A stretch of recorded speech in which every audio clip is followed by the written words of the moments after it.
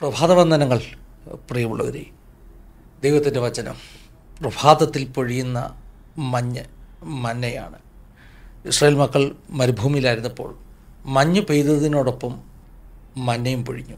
അതുകൊണ്ടായിരിക്കാം ഒരുപക്ഷെ ആവർത്തന പുസ്തകം മുപ്പത്തിരണ്ടാം അധ്യായത്തിൽ മോശ പറഞ്ഞത് നിന്റെ വചനം പ്രഭാതത്തിൽ പൊഴിയുന്ന പെയ്തിറങ്ങുന്ന മഞ്ഞുതുള്ളികൾ പോലെയെന്ന്. ഒരു വേദഭാഗം ഇന്ന് പകലും നമ്മൾ ഒന്നിച്ച് ധ്യാനിക്കാൻ പോവുകയാണ് കുരുതി ലേഖനത്തിൽ നിന്നാണല്ലോ തുടർമാനമായി നാം ചിന്തിച്ചുകൊണ്ടിരിക്കുന്നത്.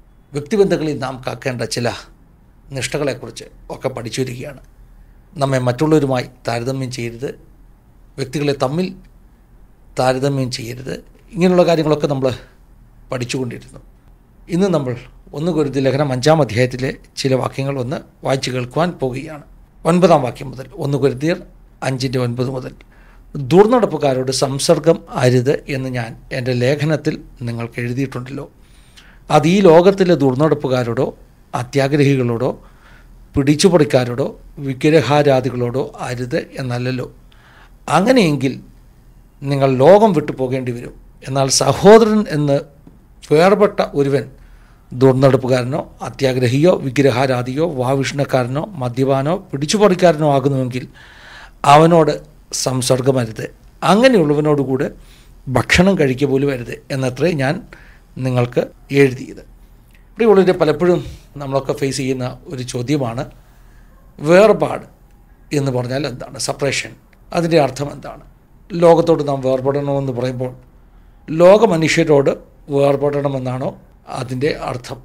അപ്പോസ്തോലനായ പൗലോസ് വളരെ വ്യക്തമായിട്ട് ഒന്ന് ഗുരുതി ലേഖനം അഞ്ചാം അധ്യായത്തിൽ പറയുകയാണ് വേർപാട് ആചരിക്കണം എന്ന് പറയുന്നതിന്റെ അർത്ഥം ലോകത്തിലുള്ള അവിശ്വാസികൾ അല്ലെങ്കിൽ ലോകമനുഷ്യർ അവരോട് സംസാരിക്കരുതെന്നോ അവരുടെ കടയിൽ പോയി സാധനങ്ങൾ വാങ്ങരുതെന്നോ ഒന്നുമല്ല അതിന്റെ അർത്ഥമെന്ന് വളരെ വ്യക്തമായി പറഞ്ഞു തന്നിരിക്കുകയാണ്. പൗലോസ് ഇവിടെ പറയുന്നത് ഈ ലോകത്തിലെ ദുർനടപ്പുകാരോടോ അത്യാഗ്രഹികളോടോ സംസർഗം അരുത് എന്നല്ല താൻ ഉദ്ദേശിക്കുന്നത്. ദുർനടപ്പുകാരോട് സംസർഗം അരുത് എന്ന് പല ലേഖനത്തിലും താൻ എഴുതിയിട്ടുണ്ട്. ഇവിടെ താൻ ആ പല ലേഖനത്തിലും എഴുതിയ ആ ഒരു വാചകത്തിന് അല്പം വെളിച്ചം പകരുകയാണ് താൻ ഉദ്ദേശിക്കുന്നത്. ലോക മനുഷ്യരുമായിട്ട് സഭയ്ക്ക് പുറത്തുള്ള മനുഷ്യരുമായിട്ട് അവർ ദുർനടപ്പുകാരാകാം അത്യാഗ്രഹികളാകാം വിഗ്രഹാരാധികളാകാം അങ്ങനെയുള്ളവരോട് സംസർഗം അരുത് എന്നല്ല താൻ അർത്ഥമാക്കിയത്. എന്നിട്ട് പോലീസ് പറയുന്നു അങ്ങനെയാണെങ്കിൽ നിങ്ങൾ ഈ ലോകം വിട്ടുപോകേണ്ടി വരും. എന്ന് പറഞ്ഞാൽ ലോകത്തിലുള്ള മനുഷ്യർ സഭയ്ക്ക് പുറത്തുള്ളവർ അവരുമായിട്ട് സംസർഗം പാടില്ല എങ്കിൽ അവരുടെ കടയിൽ നമുക്ക് സ്വാതന്ത്ര്യം വാങ്ങിക്കുവാൻ കഴിയുന്നില്ല. അങ്ങനെ അവരുമായിട്ട് യാതൊരു തരത്തിലുള്ള ഇടപെടലുകളും നമുക്ക് നടത്തുവാൻ കഴിയുന്നില്ലെങ്കിൽ ഈ ലോകം വിട്ട് നമ്മൾ പോകേണ്ടി വരുമെന്നാണ് പൗലോസ് പറയുന്നത്. അപ്പോൾ പൗലോസ് പറയുന്നതിന്റെ ശരിയായ അർത്ഥം താൻ വിശദീകരിക്കുകയാണ്. സഭയ്ക്കകത്ത് ഉള്ള ഒരു വ്യക്തി അശുദ്ധി ചെയ്ത് പാപം ചെയ്ത് ജീവിക്കുന്നത് കാണുന്നെങ്കിൽ ആ വ്യക്തിയുമായിട്ട് സംസർഗം അരുത് എന്നാണ് പൗലോസ് അർത്ഥമാക്കുന്നത്. അതാണ് ശരിക്കും വേർപാടിന്റെ വളരെ പ്രധാനപ്പെട്ട ഒരാശയമെന്ന് ഇവിടെ പൗലോസ് പഠിപ്പിക്കുന്നു. അതോടൊപ്പം തന്നെ നാം ഒരു കാര്യം മനസ്സിലാക്കണം. വേർപാടെന്ന ആശയം നാം മനസ്സിലാക്കേണ്ടത് പാവത്തോടെയാണ് നാം വേർപെടേണ്ടത്.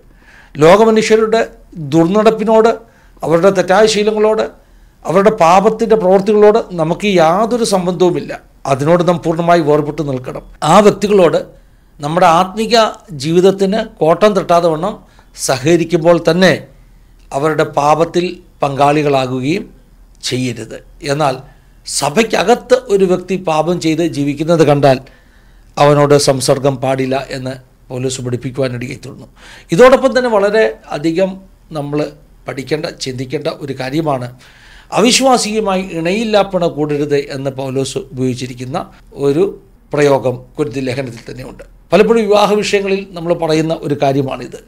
അവിശ്വാസിയുമായി ഒരിക്കലും ഇണയില്ല പിണ കൂടരുത് എന്ന് പറഞ്ഞാൽ വിവാഹ ബന്ധങ്ങളിൽ ഏർപ്പെടുമ്പോൾ നമ്മുടെ വിശ്വാസത്തിന് നിരക്കുന്ന വ്യക്തിയുമായി മാത്രമേ വിവാഹ ബന്ധത്തിൽ ഏർപ്പെടുവാൻ പാടുള്ളൂ.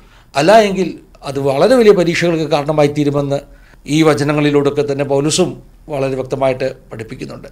വിവാഹബന്ധങ്ങൾ മാത്രമല്ല മറ്റൊരു ഉദാഹരണം പറഞ്ഞാൽ നമ്മളൊരു പാർട്ട്ണർഷിപ്പ് ബിസിനസ് തുടങ്ങുന്നു. പാർട്ട്ണർഷിപ്പ് ബിസിനസ് നടക്കുമ്പോൾ നാം ആ വ്യക്തിയുമായി ഒരു എഗ്രിമെന്റിൽ എത്തുകയാണ്. അവിശ്വാസിയായ ഒരു വ്യക്തിയാണ് നമ്മളുമായി പാർട്ട്ണറായിട്ട് വരുന്നതെങ്കിൽ ആ വിഷയത്തിൽ പല കാര്യങ്ങളും പല കടമ്പകളും പരീക്ഷിക്കപ്പെടുന്ന അനുഭവങ്ങളിലൂടെ നമുക്ക് കടന്നു പോകേണ്ടതായിട്ട് വരും. എനിക്കുണ്ടായ ഒരു അനുഭവം പറയാം. ഞാൻ ബിസിനസ് ആരംഭിച്ച കാലത്ത് എനിക്ക് അവിശ്വാസിയായ മഹാരാഷ്ട്രീയനാകുന്ന ഒരു വ്യക്തിയുമായിട്ടാണ് പാർട്ട്ണർഷിപ്പ് ഉണ്ടായിരുന്നത്. എന്താ സംഭവിച്ചെന്ന് ചോദിച്ചാൽ ഞാൻ അദ്ദേഹത്തോട് പറഞ്ഞു നമ്മൾ രണ്ടുപേരും രണ്ട് വ്യത്യസ്ത മതത്തിൽ വിശ്വസിക്കുന്നവരാണ്.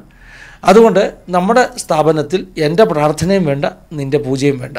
പക്ഷേ ഞാൻ ആ ഒരു ഓർഗനൈസേഷൻ ഇനാഗ്രേഷൻ ചെയ്യുന്ന ദിവസം രാവിലെ എത്തുന്നതിന് മുമ്പേ അവന്റെ വീട്ടുകാരവിടെ വന്ന് അവരുടെ പൂജകളൊക്കെ കഴിച്ചു പോയി. ഇവൻ എന്നോട് വന്നിട്ട് പറഞ്ഞു എന്റെ അമ്മയൊന്നും സമ്മതിക്കുന്നില്ല. അതുകൊണ്ട് എനിക്കതിന് നിർബന്ധിക്കപ്പെട്ടു. എനിക്ക് വലിയ വിഷമം തോന്നി.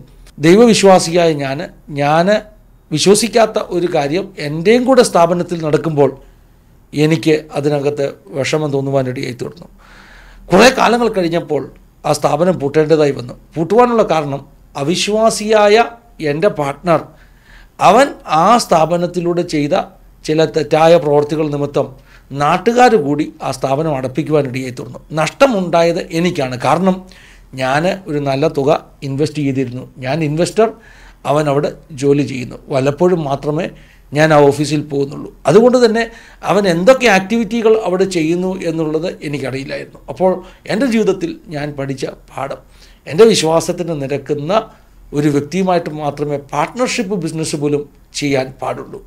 അപ്പോൾ അവിശ്വാസിയുമായി ഇണയില്ല പിണ കൂടരുത് എന്ന് പറയുന്നതിന്റെ അർത്ഥം നാം വ്യക്തമായിട്ട് ഇങ്ങനെ മനസ്സിലാക്കണം. ഇനി ഒത്തിരി കാര്യങ്ങൾ ഒരു ലേഖനത്തിൽ നിന്ന് നമുക്ക് പഠിക്കാനുണ്ട്.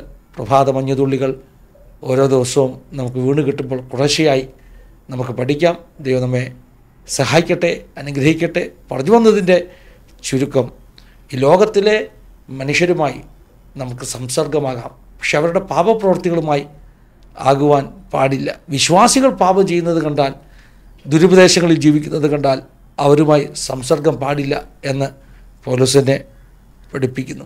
അവിശ്വാസിയെ സംബന്ധിച്ചിടത്തോളം അവരുമായി വിവാഹബന്ധത്തിലൊന്നും ഏർപ്പെടുവാൻ പോകണ്ട അവരുമായി ഈ പറഞ്ഞതുപോലെ പാർട്ട്ണർഷിപ്പ് ബിസിനസ് നമുക്ക് ചെയ്യാൻ പറ്റാത്ത കാര്യങ്ങളാണെങ്കിൽ ഇടപെടാൻ പോകണ്ട. മറ്റേത് വിധത്തിലും ലോകത്തിലുള്ള ഏത് മനുഷ്യരുമായി നാം നമ്മുടെ വിശ്വാസത്തെ കോംപ്രമൈസ് ചെയ്യാതെ സഹകരിക്കുന്നതിൽ സംസർഗം ചെയ്യുന്നതിൽ വേദപുസ്തകം എതിർക്കുന്നില്ല. ദൈവം എല്ലാവരും സഹായിക്കട്ടെ അനുഗ്രഹിക്കട്ടെ.